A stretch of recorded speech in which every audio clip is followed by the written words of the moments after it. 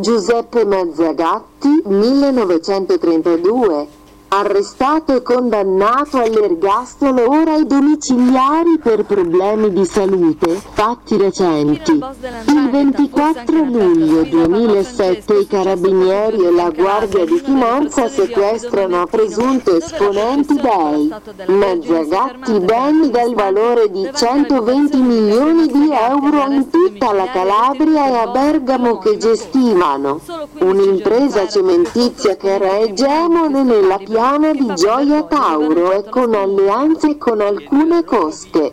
Catanzaresi anche l'area di Catanzaro, a capo della consorteria Giuseppe Mazzagatti.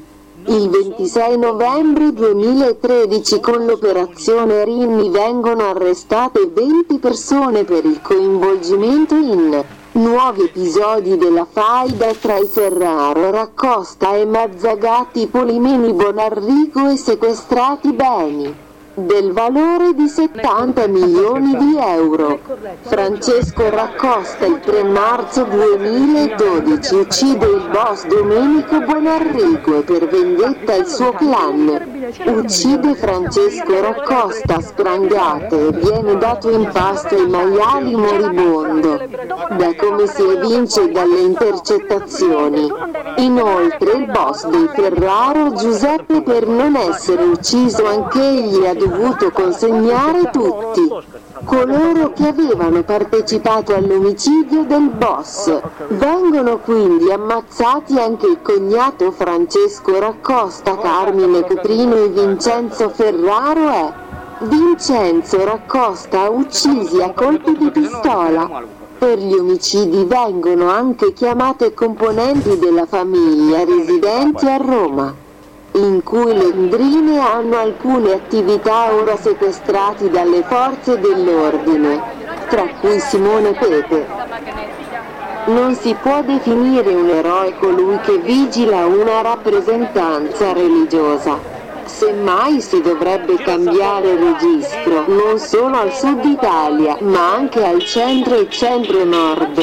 Il carabiniere e il maresciallo che vengono elogiati per essersi allontanati dopo che chi teneva la statua ha sostato il fatto l'inchino e il boss avevano pieni poteri per concludere la pseudo festa, smerdando gli andrini e mafiosi di turno.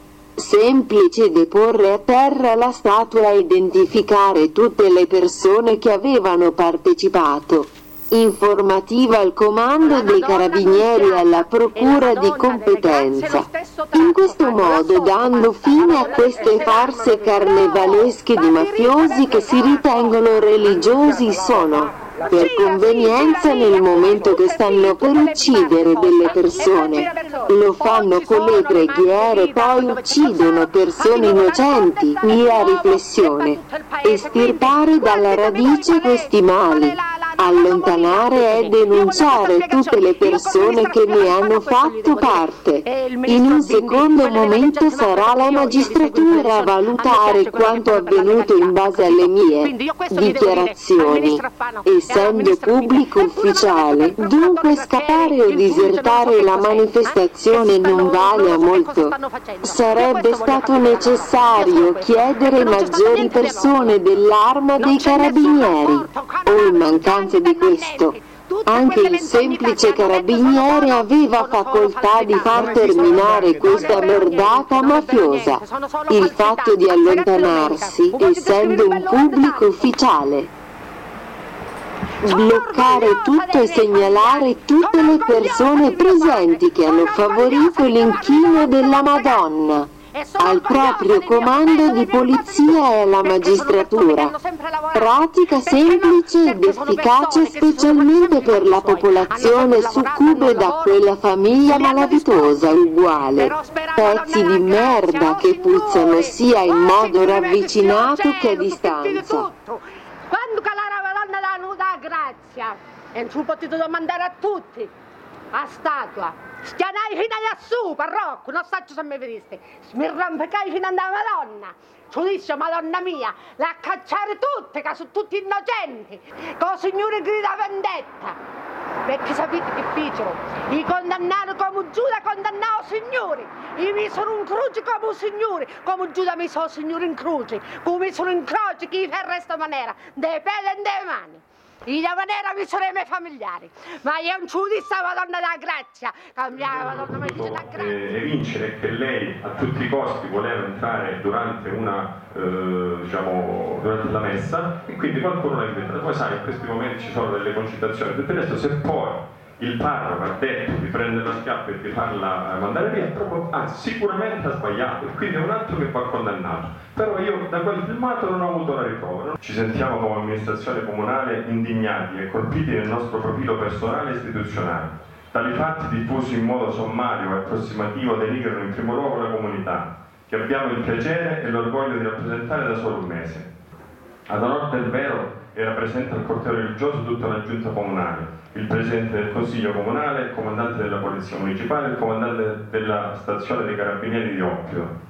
Peraltro, nell'attimo in cui i portatori della vara hanno espletato tale rotazione, improvvisamente il comandante della stazione locale dei carabinieri, che si trovava alla destra mia, si è distaccato dal corteo, motivando eh, diciamo che quello era stato un gesto di riverenza a un boss presente in quella strada. Non capiamo perché noi amministratori ci dovevamo allontanare se in effetti lui si è solamente distaccato, se lui si è solamente allontanato per fare delle indagini e poi ha subito ripreso la processione. Dal canto nostro, nell'immediatezza del fatto, nel dubbio abbiamo agito secondo un principio di buonsenso e non abbiamo abbandonato il corteo per non creare disagio a tutta la popolazione oppirese ed ai migliaia di fedeli che giungono numerosi da diversi paesi ed evitare il disordine pubblico. Pertanto non è dato capire come mai l'episodio di qualche giorno fa ha assunto un significato diverso rispetto ai precedenti, a tal punto di arrivare ad agitare le istituzioni presenti e la popolazione oppirese accondiscendente alla Dangrada.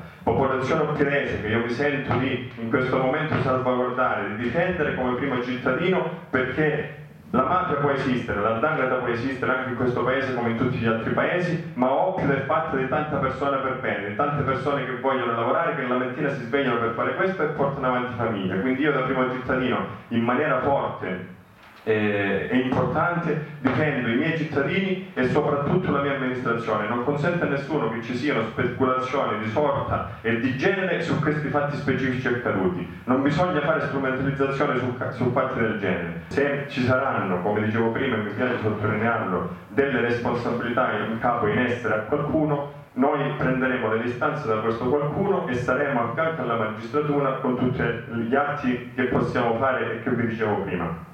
Però consentitemi di dire questo a voi giornalisti che quasi sempre fate il vostro lavoro in maniera perfetta, alcune volte purtroppo le questioni rischiano di essere ingigantiti o addirittura rischiano di, eh, di, essere messe nella bocca di qualcuno parole che non sono state dette. E a tal proposito allora io vi dico, Oppido non deve essere attenzionata solo in queste situazioni, Oppido deve essere attenzionata quando i troppi giovani vanno via da questo paese perché non c'è lavoro, perché la legalità si conquista pure attraverso il lavoro. E oggi io qua invito il Presidente del Consiglio dei Ministri, l'onorevole Renzi, a venire a Oppido, a vedere quanta tanta bella gente c'è, per venire qua e insieme a noi ragionare su quello che deve essere il futuro della nostra